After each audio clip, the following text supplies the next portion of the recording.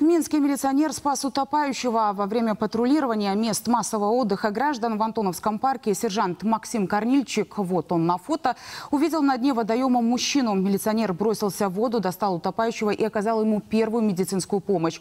После спасенный был передан медикам. Сейчас жизни и здоровью мужчины ничего не угрожает.